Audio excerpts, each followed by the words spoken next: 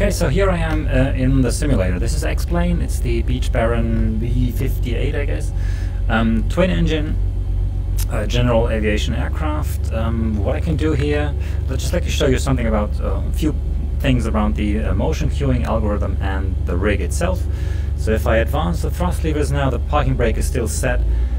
I'm not sure if you can see it from the outside, but I can already feel the rig moving forward and backwards slightly.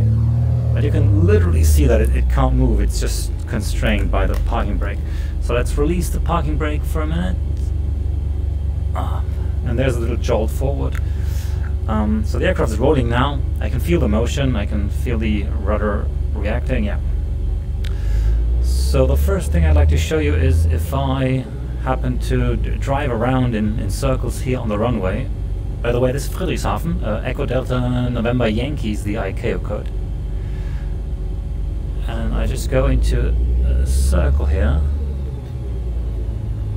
Just driving around in circles not that you would ever want to do this in real life but what you can probably see is that the rig is well, is tilted now. So for you probably the rig is tilted but for me the horizon is still perfectly fine. Um, so I feel centrifugal force in the aircraft while you see the rig tilted and um, well, the um, the tilt and the centrifugal force that I see or expect from the visual, um, they match so fine that to me this is just centrifugal force, but you see the rig tilted.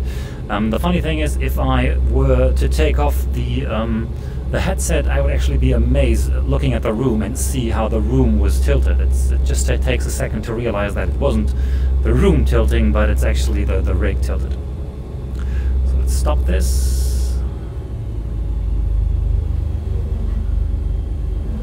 Um, something else that you can see is then when I um, use the rudder to to yaw on the ground, then the rig will initially follow the motion, but as soon as I keep that yaw rate, it'll fade back to zero.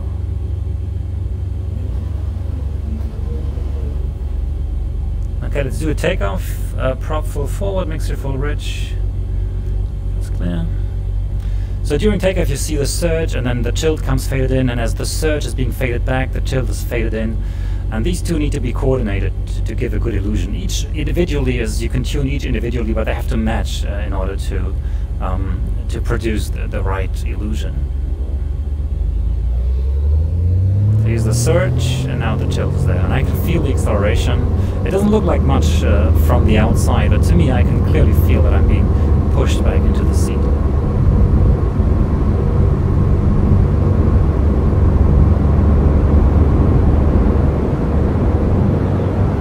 Feel a rumble from the runway and that just stopped now. Again, it doesn't look like much, but you feel that there is a runway underneath you, and when that is all of a sudden gone, that's a very nice um, feeling, and you know, oh, now you're in the air. So gear up. And also when the gear retracts, that rumble from the gear, from the, the resistance from the air and all that, that all of a sudden disappears, and that's also very immersive.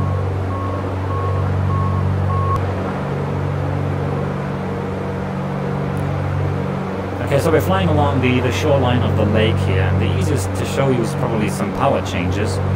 Um, 2,500 feet, and this heading. So if I take the power back, um, I, I feel the surge going backwards, and I feel the tilt going downwards, and these two are coordinated. Take a look at it. So even though the rig is now, I guess, tilted down, uh, the horizon is still right in front of me, so visually nothing has changed.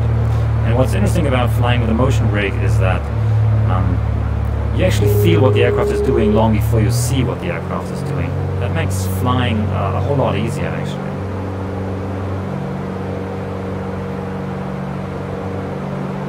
Okay, let's do a steep turn, 2,500 feet. And again, in the roll channel, um, only the high-pass filtered um, version of what you're doing on the angular rate of the aircraft is being displayed here. So you feel the entry of the turn and the exit of the turn. So, right. It's rolling into a turn.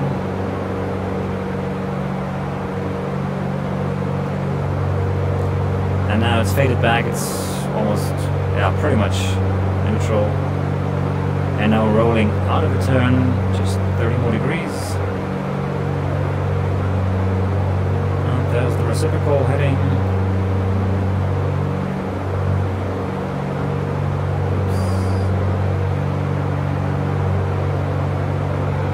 So it's the entry and the exit of the turn that you only feel as a pilot. It might seem strange if you've never flown an aircraft, but rolling continu with a continuous roll rate is something that you pretty much don't feel in, in an aircraft.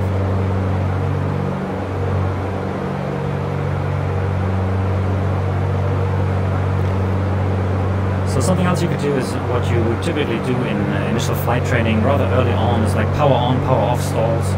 So let's try this for a minute, 2,500 feet over the lake. Now the nose is coming up and I bleed all the airspeed.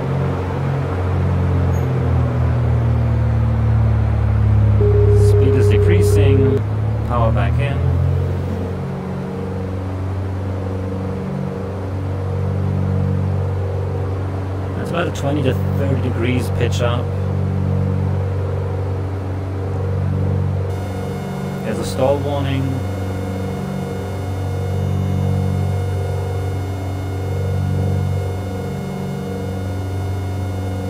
and there's a stall. So you can feel the aircraft depart.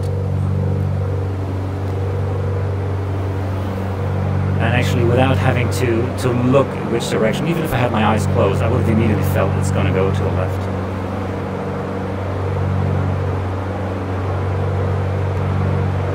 So looking at it from the outside, for you guys, it's probably surprising how little actually is happening, but you don't need all that much. It's uh, it's not called acceleration cueing, it's called acceleration onset cueing. So whenever something changes around the aircraft, that's when you get a cue.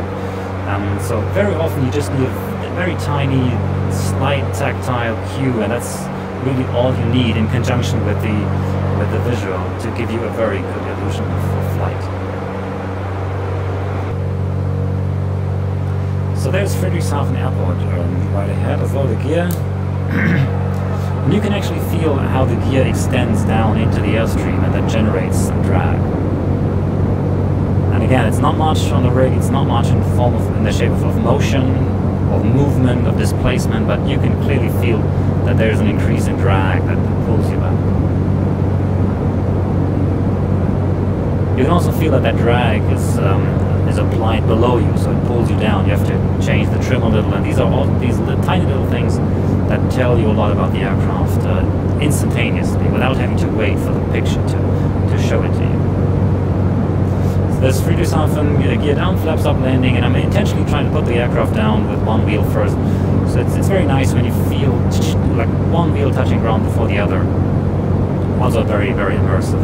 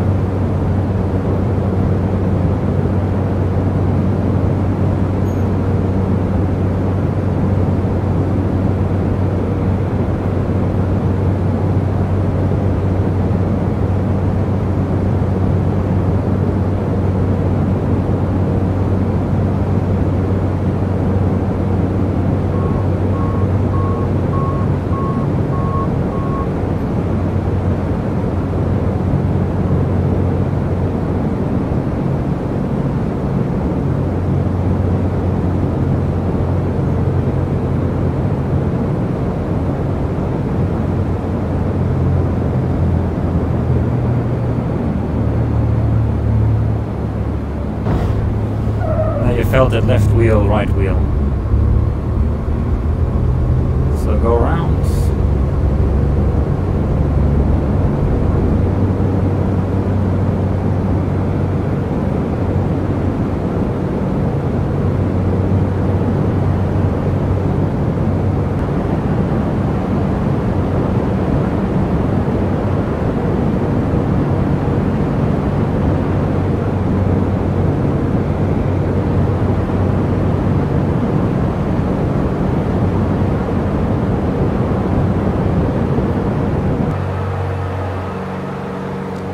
Next a full stop landing in Friedrichshafen on left base, uh, runway 06 I guess. And try to take a look when the, when the gear goes down.